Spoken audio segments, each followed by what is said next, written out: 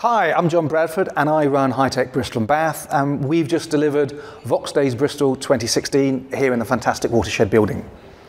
If you attended, you'll have had the opportunity to visit 21 sessions across three tracks with more than 200 other delegates on the day. You won't have had an opportunity to see everything, so we've recorded all the sessions and they'll be going up online shortly. We're editing them as we speak. If you're on the mail list, you'll be getting regular updates on how the editing process is going, uh, news items, and of course our ideas and planning for Voxxed Days Bristol 2017. If you're not on the mail list, please visit the Voxxed Days website or the High Tech Bristol and Bath website at hbb.org.uk to sign up and be part of the community for next year.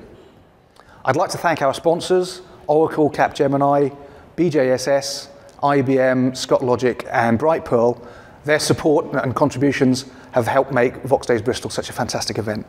So again, if you have any questions, please contact me, visit the website, join the mail list, become part of the community, and let's help make Voxxed Days Bristol 2017 even better.